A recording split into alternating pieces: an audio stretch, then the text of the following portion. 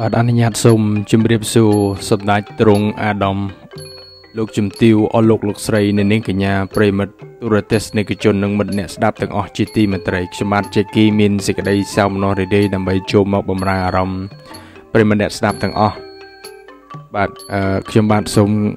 ផ្ញើសេចក្តីនឹករលឹកជូនចំពោះបងប្អូនប្រជាពលរដ្ឋខ្មែរយើងទាំងអស់នៅក្នុងប្រទេសកម្ពុជា បាទគ្រប់ខេត្តគ្រប់ក្រុងហើយឃើញថារដូវនេះគឺជារដូវវស្សាអញ្ចឹងទេឃើញថាមានខេត្តខ្លះមានតំបន់ខ្លះហ្នឹងក៏មានចំនួនទៅហើយហើយអឺ កងកម្លាំងដែលមានសមត្ថកិច្ចក៏បានចេញជួយប្រជាពលរដ្ឋក្នុងការទប់ស្កាត់ឬក៏ក្នុងការចែកជាជំនួយស្បៀងឧបត្ថម្ភនានាជូនដល់ប្រជាពលរដ្ឋយើងដែលកំពុងតែជួបការខ្វះខាតនៅក្នុងរដូវវស្សាឬក៏នៅក្នុងទឹកចំនួនក្នុងឆ្នាំនេះផងដែរ បាទហើយមួយទៀតក៏ខ្ញុំសូមផ្ញើសេចក្តីនឹករលឹកទាំងអស់ជូនបងប្អូនប្រជាពលរដ្ឋខ្មែរយើង ដែលកំពុងតែរស់នៅតាមបណ្ដាប្រទេសនានាលើពិភពលោក ដូចជាប្រទេសសហរដ្ឋអាមេរិកដូចជាប្រទេសកាណាដា ដូចជាប្រទេសបារាំងហើយក៏បងប្អូនប្រជាពលរដ្ឋខ្មែរយើង ដែលរស់នៅ ក្នុងប្រទេសកូរ៉េហើយនិងប្រទេសប្រទេសអូស្ត្រាលីបាទសូមគោរពនិង ខ្ញុំសូមសម្ដែងនៅការនឹករលឹកក្នុងនាមយើងជាខ្មែរដូចគ្នា បាទយើងឃើញថាបើទោះបីជា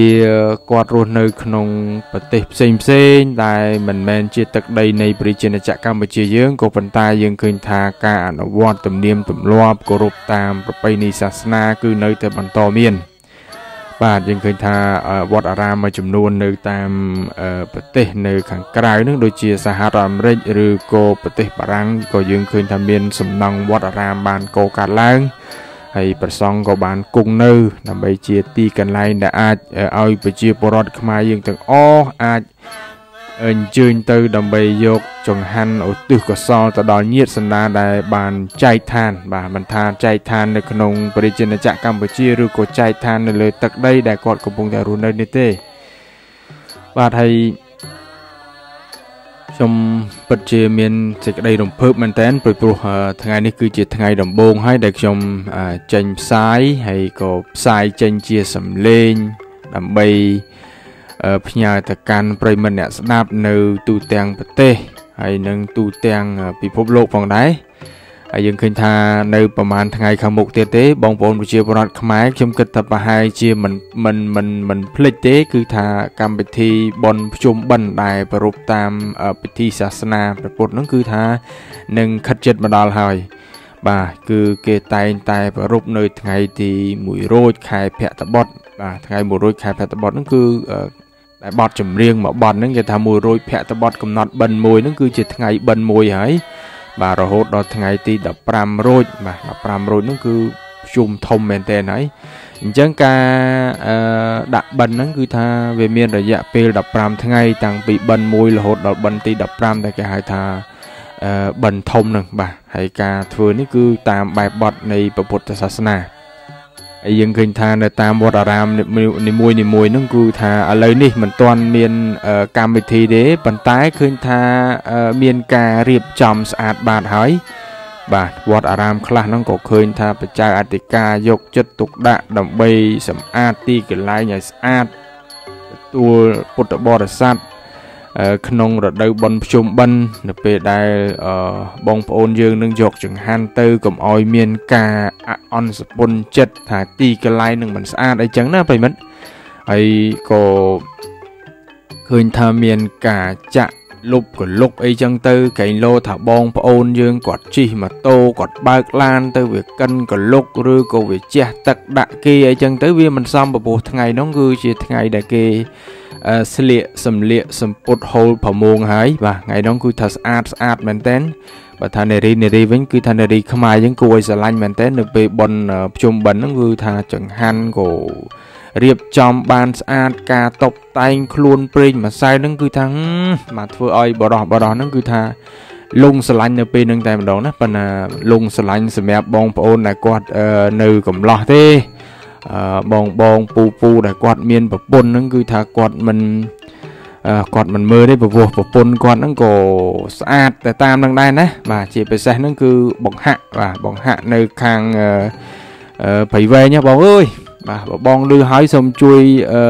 សញ្ញោប្អូនមួយផងបងណាបាទរដូវបន់ភ្ជុំនឹងបងមើលចាត់ចែងផ្ទះសំបាយឲ្យស្អាតបាទព្រោះថាមើលទៅប្រហែលជាមានបងប្អូននេះគេទៅលេងហើយបាទអរគុណច្រើនហើយក៏ ឃើញថាពេលនេះហ្នឹងក៏ម៉ោងហ្នឹងក៏រៀងជ្រេទៅហើយព្រោះខ្ញុំថតសម្លេងហ្នឹងគឺម៉ោង10 12 22នាទីយប់ហើយគឺថាឆ្លងពីថ្ងៃប្រហោះរហូតដល់ថ្ងៃសុក្របាទហើយនិយាយហ្នឹងគឺនិយាយតែឯងទៀតណាបងប្អូនហើយបើសិនជាខ្ញុំនិយាយឲ្យលឺបងប្អូនឆ្លើយវិញប្រហែលជាខ្ញុំត្រូវរត់អីមើលទៅនោះ អឺចង់ជម្រាបមួយទៀតថាពិធីបន់ភ្ជុំបន់យើងនេះក៏សប្បាយរីករាយបាទបាទគឺជាការជួបជុំគ្នាប៉ុន្តែឃើញបងប្អូនយើងអ្នកលក់មួយចំនួនហ្នឹងក៏មានការមមាញឹកណាបងប្អូនខ្លះហ្នឹងគឺថាមុនពិធីបន់ភ្ជុំបន់គឺថាញញឹមញញែមមែនតែនបាទព្រោះលក់អីវ៉ាន់ដាច់បាទផ្លែឈើនំចំណីទឹកតែហ្នឹងគឺថា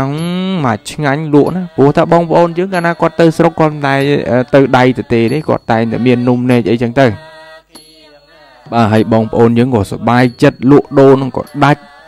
បាទអញ្ចឹងទេគឺថាកម្មវិធីបន់ភ្ជុំបិណ្ឌហ្នឹងគឺមកឆ្នាំនេះហ្នឹងខ្ញុំគិតថានឹងមានភាពសប្បាយរីករាយជាងឆ្នាំទៅឆ្នាំទៅទៀតហើយព្រោះថាយើងឥឡូវហ្នឹងគឺថាសុខសប្បាយទាំងអស់គ្នាហើយបងប្អូនហើយអឺបងប្អូនអ្នកលក់ដូរមួយចំនួនជាពិសេសហ្នឹងគឺបងមីណោះអូបងមីនៅខាងបធាបងអ្នកលក់ប្រហិត បាទឃើញថាប្រមាណប្រមាណថ្ងៃហ្នឹងបងជិះម៉ូតូឆ្វែលលិចឆ្វែលកើតទៅតាមវត្តអារាមហ្នឹងគឺធ្វើឲ្យលោកចៅអធិការម្នាក់មួយអង្គមួយអង្គគឺថាប្រៃភ័យព្រួយមែនតែនមិនដឹងថាបងមីហ្នឹងជិះម៉ូតូទៅធ្វើអីណាដល់សួរចុះសួរឡើងបានដឹងថាបងមីហ្នឹងរកទីតាំងដើម្បីលក់ប្រហិតជៀន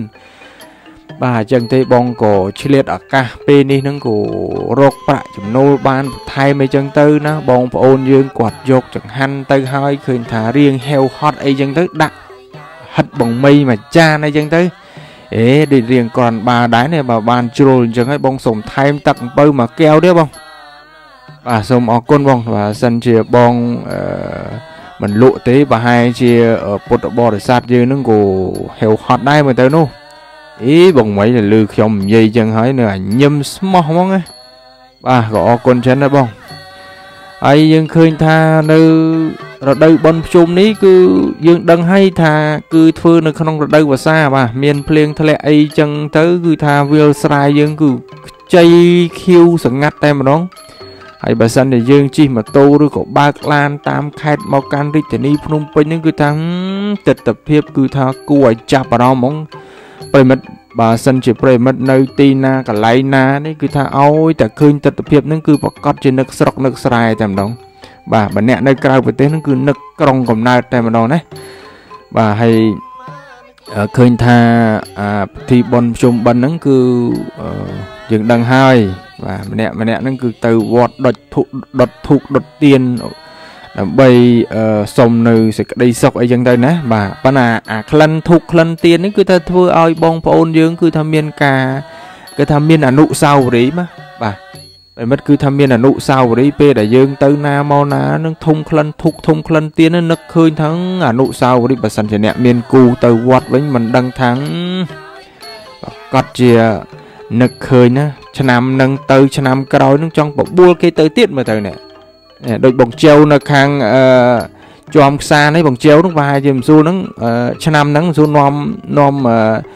គេហៅថាគូតដឹងទៅទៀតហើយមើលទៅនោះបាទសូមអជូនពរបងជើវហើយនឹងអនាគតភក្តិយានឹងឲ្យមានសុភមង្គលណាបង